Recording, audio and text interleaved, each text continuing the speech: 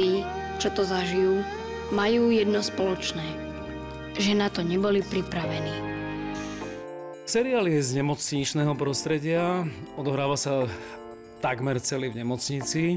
Hlavní hrdinovia sú deti, to 6 kamarátov, ale principiálne ten seriál je o kamarátstve, o sile kamarátstva a práve v tej nemocnici je ešte dôležitejšie možno ako, ako inde. Niektorí z nás sa boja, že sa ich život v tej chvíli skončil. Majú strach o seba, aj o tých, ktorých majú radi. Vidieť deti, ktoré sú v nemocnici, tak na prvý pohľad to, to, to znie, že to bude niečo dramatické a smutné a príliš vážne a ťažké a že človek si povie, a chcem sa na to vôbec pozerať ale v skutočnosti ten seriál v sebe nesie obrovskú energiu, radosť, e, ako tie deti dokážu sa v tých komplikovaných situáciách tešiť, ako sa dokážu baviť. Mne sa veľmi páči na tom seriáli to, že sa pustil do akýchsi odvážnejších tém, ako to bolo možno doteraz a na čo sme boli my na Slovensku zvyknutí. Napriek tomu pracuje veľmi s humorom, pracuje najmä s tým, ako sa tieto zásadné momenty dajú zvládnuť ako sa to dá celé prežiť, ako sa dá fungovať a ako sa dá pritom aj zabaviť. Mojou úlohou je kontrolovať scenáre po tej medicínskej a zdravotnej stránke a, a vlastne konzultovať, či to je reálne, či sa to tu tak robí, či sedia názvy napríklad liekov, alebo či sedia postupy. Potom na placi už reálne pomáhať tým hercom spraviť to tak, ako sa toho reálne robí. Je to náročná úloha. Človek si stále taký neistý tým výsledkom, takže nevie, že či to robí až tak dobre alebo nie, ale vždy máme koho si, kto nás usmerní. A raz mi to pomerne jednoducho, aj keď niekedy ťažko. Jednoducho hovorím, pretože v podstate tam iba ležím, ťažko hovorím, pretože niekedy sa chcem pohnúť. Tento raz pri castingu do seriálu stavili na mladých a neopozeraných hercov. Sú to v podstate neznáme tváre, ale teda ja musím povedať, že prekvapili maximálne.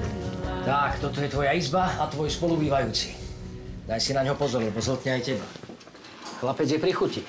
Môžem za to, veď som vo vývine. Môžem prezradiť, že to je unikátny seriál, kde vlastne sme dostali možnosť my, mladí herci, účinkovať a profesionálni herci, ktorí už pôsobia niekoľko rokov na scéne, tak vlastne nám hrajú ako keby taký kompars. V mnohých situáciách ma šokovali, ako sú schopní tie nieľahké situácie emočné nádherne zahrať, ako fungujú a ako aj bez toho, že by mali skúseného hereckého partnera, ktorý ich by dokázal podržať, boli výborní a podľa mňa diváci budú naozaj prekvapení, akí sú autentickí a akú energiu v sebe nesú.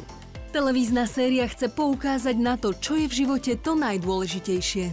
To je vážna téma, nemocnici, ale vznikajú to veľmi vtipné momenty, pretože tá partia sa vie držať tak pokope a podporí sa, urobí si aj zo seba srandu aj pri tých najvážnejších chvíľach, čo je podľa mňa veľmi dôležité v živote. Ty tu žiješ? Hej, som tu už dlhšie. Ale nestiažujem sa. Bude tu byť aj celkom sranda. Ten seriál je práve v tom výnimočný, že poukazuje na to, aký sme, aký sme tu priatelia a ako sa máme dobre a všetko prežívame spolu. Že tá súdržnosť je dôležitá. Že aj keď sú tam vážne diagnózy, tak stále tam ako keby to priateľstvo povzbudí, vyhra a tak nejak. Ja si myslím, že s priateľstvom sa dá prežiť celý život, pretože priateľstvo si na nič nenárokuje. Hlavne možno, že v takýchto zásadných životných momentoch, alebo aj v týchto témach, ktoré sa riešia v tomto seriáli, to priateľstvo neuveriteľne funguje. A myslím si, že o tom to je. Pre mňa je vždy túžba to, aby tá energia, ktorú sme do toho vložili, aby sa prenesla na toho diváka. Aby si ten divák tú cestu k tomu našiel, aby si to oblúbil a aby tá odozva emočná z toho projektu prešla aj na tých ľudí. To je najviac.